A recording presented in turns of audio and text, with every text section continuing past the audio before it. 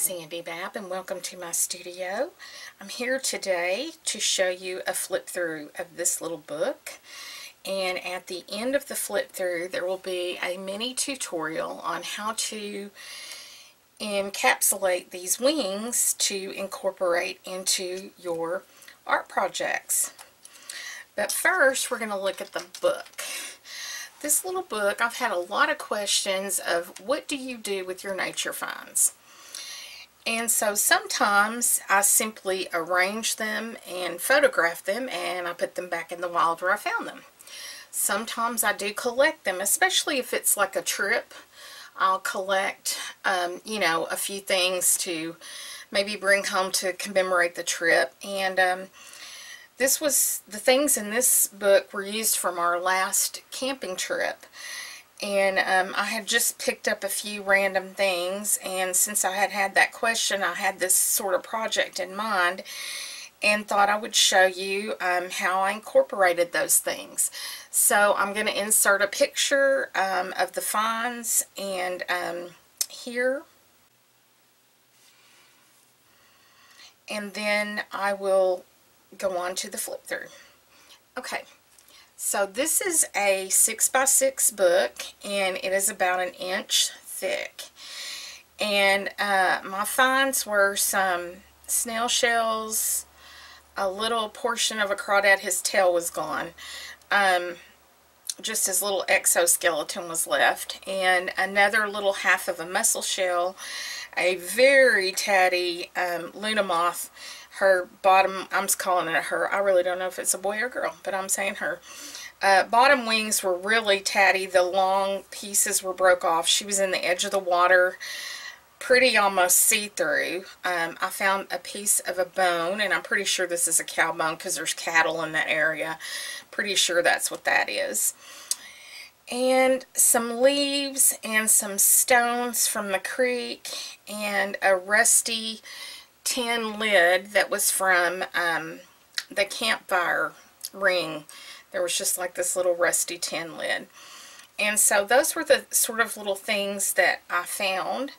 So this is the journal. I used a piece of handmade paper that I just inked to make myself a cover and a rounded spine that would fit to the curvature of the bone.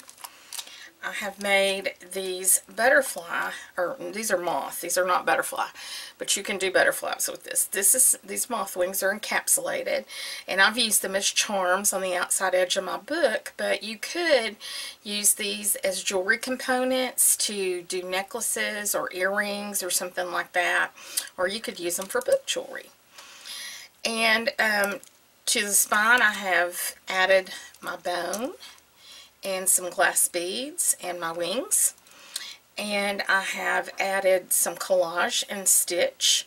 And I wanted to use a lot of copper and bronze color in this, um, in the kind of rusty color. So that kind of dictated some of my color choices in here. And then um, I kind of wanted to capture a little bit of that blue from the autumn sky. And, um, but dulled down slightly, not blue blue. So um, that's what I did here. So um, obviously I made the wings tutorial at the end of this flip through. This is a little faux bezel that I made. It is it it could actually probably be soldered, but I don't think I would because of the materials I used to do this.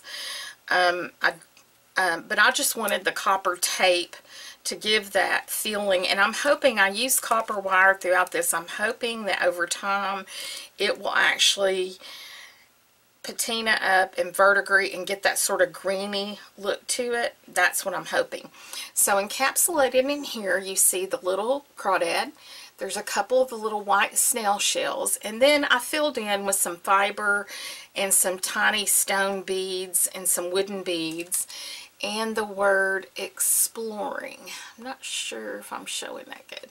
It's just layered up with some random bits of fabric and I did add this from my stash because I only had one of the rusty circles and you'll see circles and these stitch lines as sort of a running theme throughout this book. And so this is just a little memory of our trip. I used um, brown wrapping paper like you wrap packages into mail, a kind of a thick, heavy one, and kind of crinkled it to give it sort of a crinkly effect. And here is the first page. And these are stones that I found in the creek, and this is a really pretty patterned leaf. And I just thought it was really pretty. It was just floating on the water. And I kind of encapsulated each memory with sort of a little haiku for each one. So, you know, kept this really a collage journal that captures the memories and kind of a little bit of um, text to um, allude to that. Here's the next page, and I found a gray heron feather. This was my find for this page. Again, collage stitch. Um, this is just a little, this is not supposed to represent a heron. These were just some little birds that I had done a bunch of these on paper and so I just tore it out to represent a bird, not necessarily a heron. Um, here are the other pair of wings and I preserved those under some mica and I added the copper circle. Here's also another little um, shell that I found and these were these were both at resting at the edge of the water together when I got those. So excuse me. This leaf I just I'm still every time I look at it I'm just stunned by it. The patterning on that leaf and that is all natural. It was just laying in the creek floating along and it floated past me and I just I had to have that leaf the pattern was amazing. And then here is the little lid that I found in the um, fire pit and there's another stone from the creek. And there was a little squirrel little tiny gray squirrel and he was his body was really tiny but he had a huge tail. And he was running up and down the tree and dropping nuts. And so I used this vintage image from an 1800s book to um, duplicate my little squirrel friend with his little acorns. So there he is. Then this is the last oops, the last page in the book and this this one represents the night we sat by the campfire and there were night birds calling. There's another stone from the creek. And um, that is the end of the book. Just a very simple book. Then on the inside back here, I just um, referenced the date, the creek, you know, where we were, and a signature. And so that's how I might use some of my nature finds in my work. So now we're going to skip on over to the tutorial, and I hope you enjoy it. Okay, here's what we're going to need for this project you are going to need some white tissue paper. And the kind of tissue paper does matter. Um, this is a really cheap tissue that is matte on both sides. Not the gift wrap tissue that you get that is shiny on one side and then flat on the other. It needs to be matte on both sides. Some white tissue paper. You are going to need some tweezers. You're going to need a couple of tools, um, a wire cutter. This is a flat nose plier, and these are round pliers that you make like bails and things like that with jewelry making. You're going to need some adhesive. Um, I'm using matte gel medium you will need some glossy accents or you can use Mod Podge for this. Um, you're going to need some wire. I am using an 18 gauge bronze wire. You can use whatever color you want. I find that somewhere between 18 and 20 gauge is the best kind of gauge to, because this is a little fiddly to work with. So somewhere between an 18 and a 20 gauge. Um, the 20 is going to be a little bit thinner than this. For what I think I'm going to use this one for, I'm going with the 18. I've got a couple of accent beads in here. Um, make sure your wire will go through your beads. You may have to kind of adjust your gauge or your beads. And you are going to need a wing. Now, disclaimer, I do not capture, kill anything for these projects. These wings are all found wings. Spring and summer, birds eat the body of the thing and the wings are found on the ground, especially around my mimosa tree is where I find a lot of them.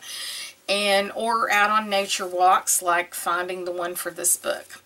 So that's where these wings came from. So we're going to choose a wing. And I've already got one picked out in here. I'm going to use this pale Luna wing here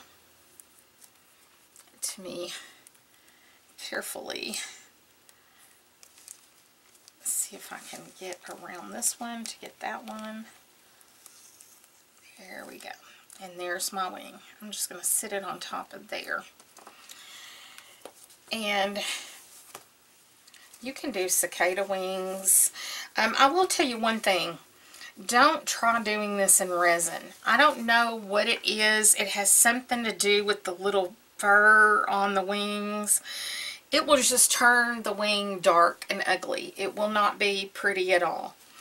So we don't need any of these wire things right here on this first step. We're just going to need a little piece of tissue paper. A little bit bigger than our wing because we want some extra to work with.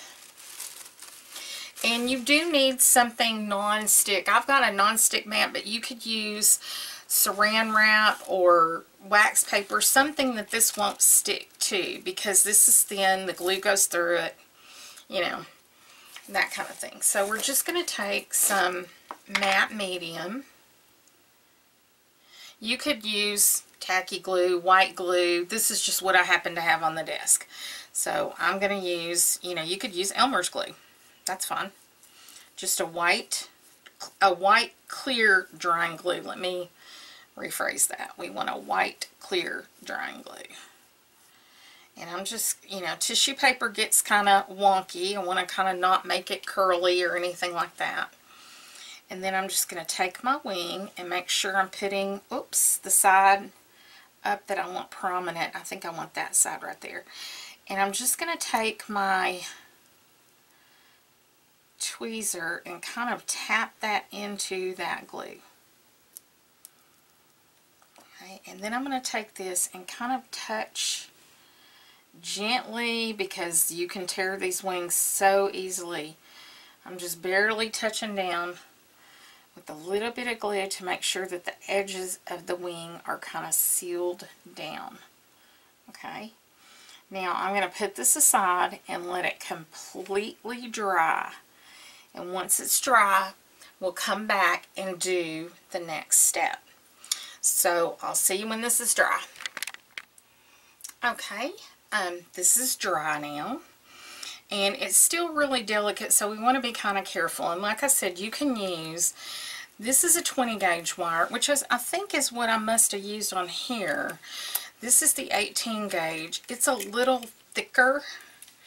And I thought I wanted a thicker look, but after looking at it, I'm like, Mm, no, I think I want the 20 gauge. So I'm backtracking on, you know, but I did say 18 or 20. So that's what we need. We need some wire.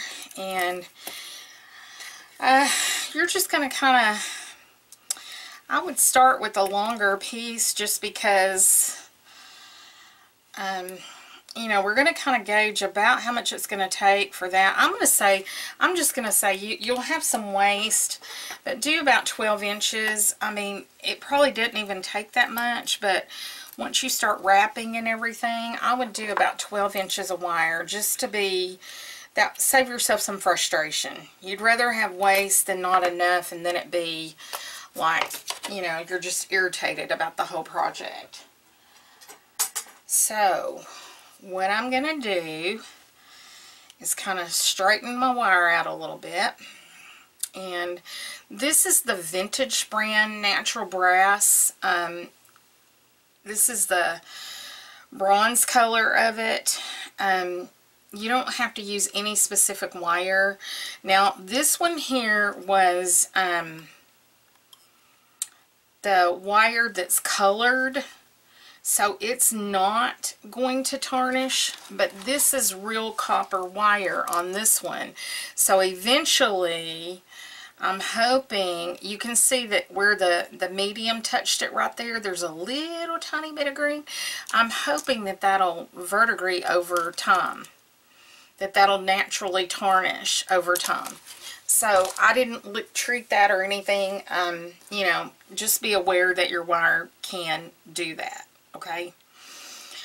So I'm to kind of make a shape and I'm just to work around, leave yourself a little tail at the end and I'm to kind of start taking my wire and just on the outline of my wing I'm just going to hold it in place and I'm kind of going to bend it and you don't have to go right up to it you can leave it a little bit you know, around it. This wire is pretty dead soft. You should be able to bend it really well. Bend it kind of into your shape, okay? Like that. See how I've kind of shaped that around my wing? I'm going to kind of hold, whoops, I let go of it. I'm going to kind of hold it in place. I hope my head is not in here. Even, you know, it's kind of hard to look up and see if your head's in there. I'm going to kind of hold it in place maybe let me pick it up and do it because I can kind of hold it in place better if I'm doing that. About there. Okay, I'm going to hold that and I'm going to take this little tip end wire and I'm going to wrap it around about three times. Oops, that last one didn't get very tight. That's because I have bad hands and just didn't get very tight. Okay, I'm going to kind of do that. Now, I'm going to make sure I didn't distort this any in that wrapping. I'm going to trim that little end off with this clip, wire clip.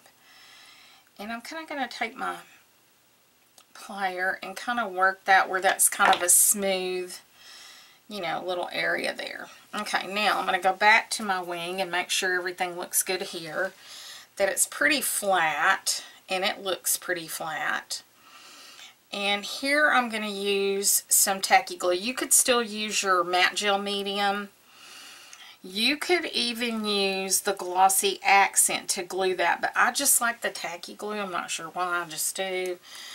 Um, but just glue. You want to glue that on. Let my, should I have had my glue upside down and I don't. And so whatever is going to be the back of my wire,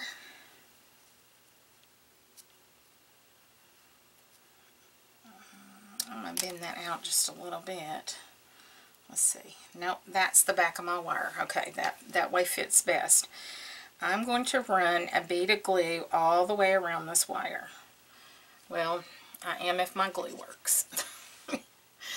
of course, if you're doing a video, everything is going to go wrong see if that does it. If not, I'll, there it goes. And if you're wondering about this bottle, this does have tacky glue in it. This is a Sugar Belle icing bottle. Ah, thinner pin. That one didn't go all the way in. I need to clean the tip. I haven't cleaned it in a few days. After using it a few times, you need to take it off and wash the tip really well. See, there's a lot of gunk in there keeping my glue from coming out. There we go. Okay. We're going to get a little bead of glue. Anyway, what I was telling you about the bottle, this is a Sugar Belle icing bottle. You can get these, I got these on Amazon. I do believe that they're sold wherever cake decorating supplies are because these are for icing. And if you have bad hands, these are so soft. Make sure you get a little bit here on this little edge don't worry about that. We can clean some of it up. But these bottles work good. I put my glue over into these bottles and they don't dry out. They have the silicone stopper on top. And it is so much easier for my hands. Now, if there's any big blobs of glue, you might want to get those off. Just kind of going around that outside edge a little bit. Now, I'm going to put this down over my wing gently and make sure, I've got a paper towel here to the side, I'm going to kind of press that down a little bit to make sure that any extra glue that needs to will come up. I'm going to turn this over and on the back I'm going to just with my finger burnish around that edge to make sure that I have good contact with all that glue. And we do. Okay. Very good contact because I don't want anything running out of this. So to make sure we have some good contact. I'm going to dab up any little excess glue that is squished out. And then I'm going to take my, for my first coat of the Glossy Accents, and don't shake this stuff. I got this at Amazon, but I think Hobby Lobby, some other. This is from Ranger. Um, it's a Ranger product. Like I said, you can use Mod Podge. I've only done this with Mod Podge and Glossy Accent, so I don't know how it would do if you just use glue. If you want to, try it and see what happens. But I like that this does leave a shiny um, coat to it. So you don't want to shake this. You want to get it upside down, let it get all into the tip, and get it started before, so you don't let air in. Let's see, maybe this one needs a needle in it too. Oh goodness. We're just batting a thousand here today, aren't we? Okay, you want to get it started Okay, I got it started off of here. I'm not, don't get let up on squeezing once you start this. You want to go, I like to go around the edge of the wire. That way you don't get air bubbles. Um, and if you get air bubbles, you can take a, a like a straight pin and, you know, sit and work the bubbles out. But I like to keep a gentle, consistent pressure on it where I'm getting a consistent flow out of here and I'm holding it a little above the wing. You don't really want to get it, you know, drag it too much on the wing so you don't disturb those little, I don't know what they are. I'm going to call them little butterfly fibers, but, uh, well, or moth fibers. You know, the little, there's a term for those little hairs or whatever they are on them. And I'm just keeping a consistent pressure and I'm going to fill this whole thing in. And you can move some of this around that you've already, this is self-leveling. It's going to level out. Okay. I did let up then because I could see that I'm not getting all the way to my wire. I'm going to use the tip just to push this to the wire. I do want it to touch that wire all the way around. I want to make sure my edges are sealed up and then I'll start it again off the, the thing so that I've got the same pressure just a little bit and then I'll continue filling in. And you can kind of rub, just be careful not to rub the wing. But as you're putting this on here, you can move it. And I'm moving it away from the edge to the center of the wing. And this is the stage that once it's completely filled in and you've gotten this like you want it, and be careful moving it around. If you lift your tip, you're going to get a bubble. You know, it's kind of one of those weird things. You just kind of kind of got to work with it.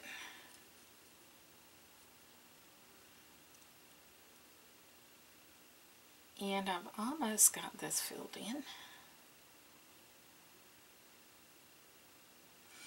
Okay, I did get some bubbles right there at the end. So I'm going to wipe this tip off and cap it, and I'm going to take that little pin I had, and I'm going to kind of lift it up so you can see the bubbles. I don't know if you can see them, but right here in this area there are some tiny bubbles. So I'm going to kind of take my pin and just gently pop those bubbles.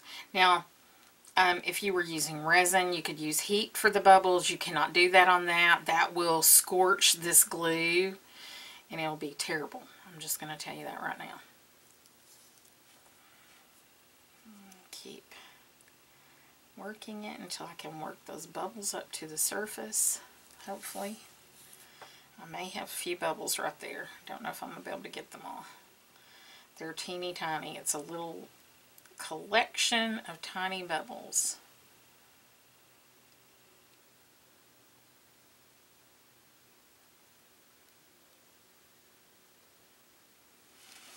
Okay, let me let that sit for a second and see how that looks. Can still see one there. There are some in here. I don't think I'm going to be able to get all these out, but they're so small. Um, but if you're patient enough, you can. Can you tell I'm short on patience? Alright, those are the ones that are left are so minute, they are not going to matter. Okay, now at this stage, if you wanted to add some glitter, I would suggest using a, an extra fine glitter. This is some Recollections glitter. This came from Michael's, I believe. And this one's called Snow. And you want to make sure that it is... Um, like this one, I think I put an iridescent clear. Yeah, this one's iridescent. This one's just a clear glitter, and it's extra fine. And you just want to get up here and pinch and just a little, don't cover it in glitter because it will obscure your wing.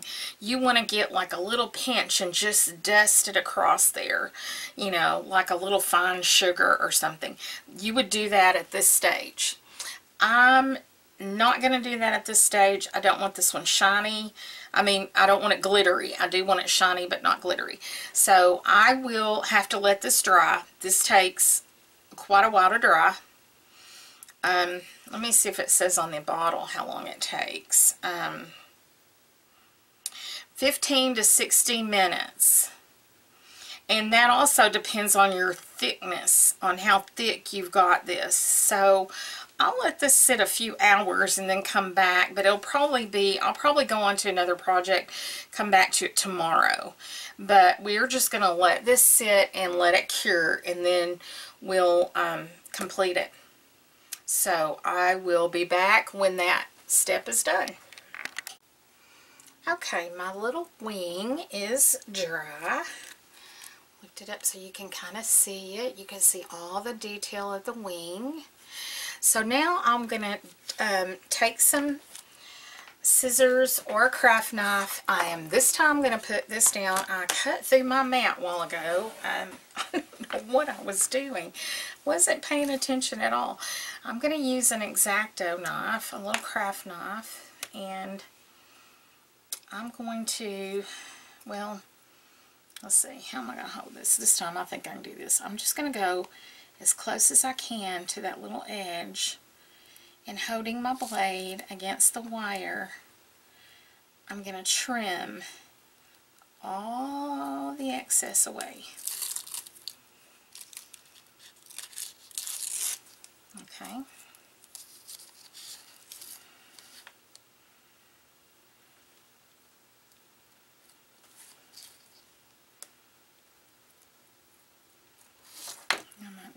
blade in here. It seems like it's dragging a little bit.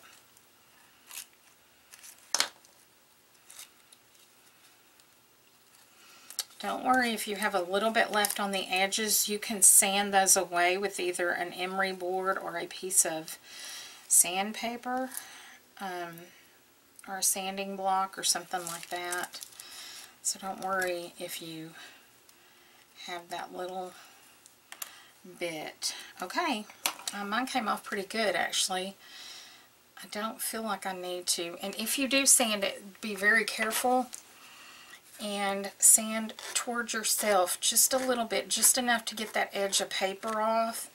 That tiny little edge that if you have any that's, you know, that needs it. And do it very gently because you don't want to lose that bond. Okay, now the back of it looks like this, and it's not super pretty. So you're going to follow that same process that we did while ago, getting the, um,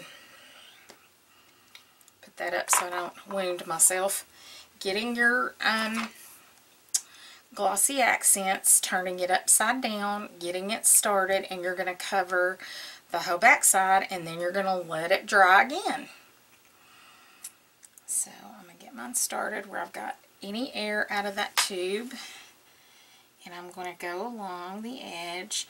And this time I can rub it a little more liberally because I'm not, I don't have that delicate wing that is covered by the tissue paper. And what happens is once you get this glossy accents on here and this gets wet, it literally makes the tissue paper disappear. And you can you will be able to see the back of the swing once you get it done. So you're going to follow that same little process of getting a layer on, steady pressure, not letting up. Try not to stir it around too much because that's how I got bubbles in mine. I did get a little bit of bubble in mine, but it wasn't enough to matter. And this stuff does, it's self-leveling.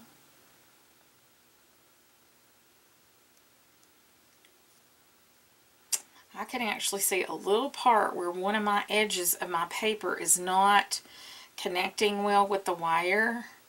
So I will have a little, little tiny repair area, looks like.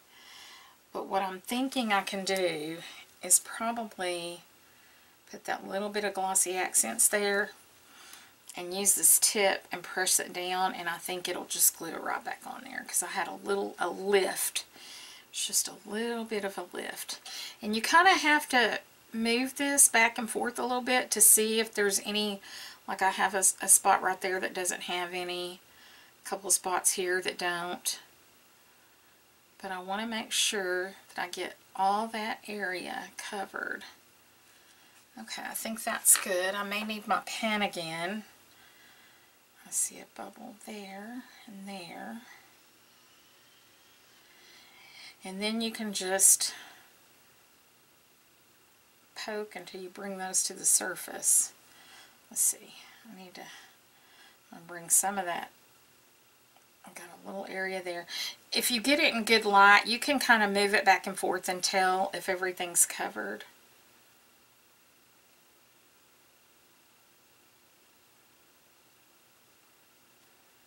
Okay.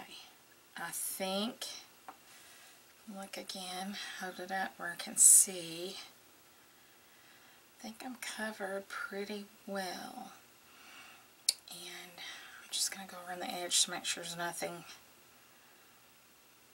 loose. Okay, so now I'm going to again, okay, now from this angle I can see a couple bubbles. Um, I'm going to go back in, let this completely dry.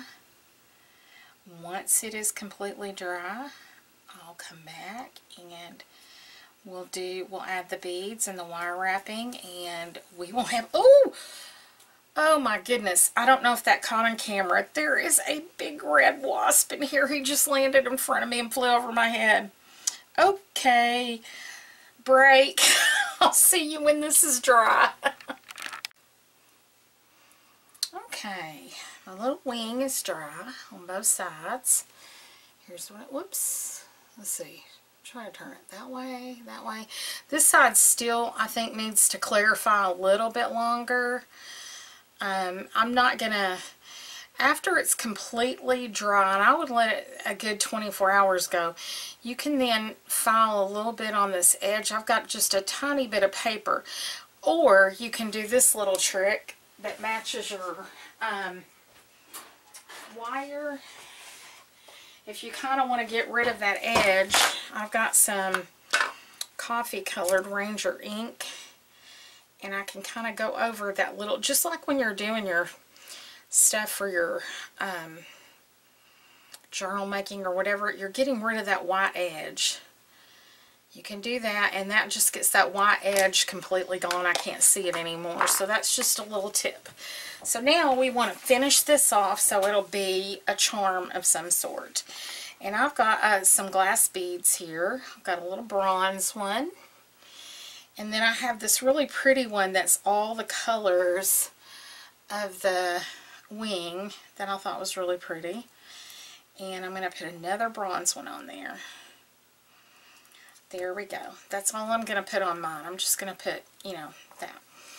Now I'm going to take my round nose pliers and I'm going to leave a little bit of a space. Let's see, I want kind of a larger loop. I'm going to go about right there, about not quite halfway, but about halfway in. And you can see there's a little space between my plier and that bead, okay? I'm going to take this wire, I'm bending it away from me and around that loop. So we've got a shape like this, okay? Then I'm going to pull my plier out and put it on this side where I can see this wire and I'm going to make sure I get in the right place I'm going to start wrapping this wire back down toward that bead pulling tightly I'm only going to get two wraps so I might get three let's see I don't think I'm going to get more than two yeah maybe three Depends on how much space you leave, but you should be able to get two or three wraps. That's all I'm going to get out of mine. Then I'm going to cut this off with my clippers.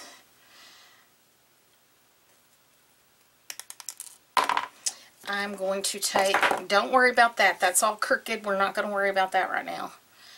I'm going to kind of bend that in, pull that together, then you can put your you can straighten a little bit with your straighten. Oh, that straightened it pretty out. I don't guess I need to use those others. Or if you're if it's lopsided, you can kind of bend it, you know, by putting that inside there. But now I have a pretty, let's see. I want that bent a little bit that way. I mean, oops. I bend mine just a little bit more. That way. There. Now I feel like that's, oh, I keep catching on something, catching my sweater on something. But there we have a charm that is made out of the wing.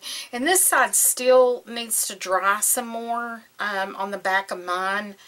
But um, you will have a beautiful wing charm. You can make these into earrings, like I said, a pendant, book jewelry, whatever you need a charm for and it's a way of just capturing nature.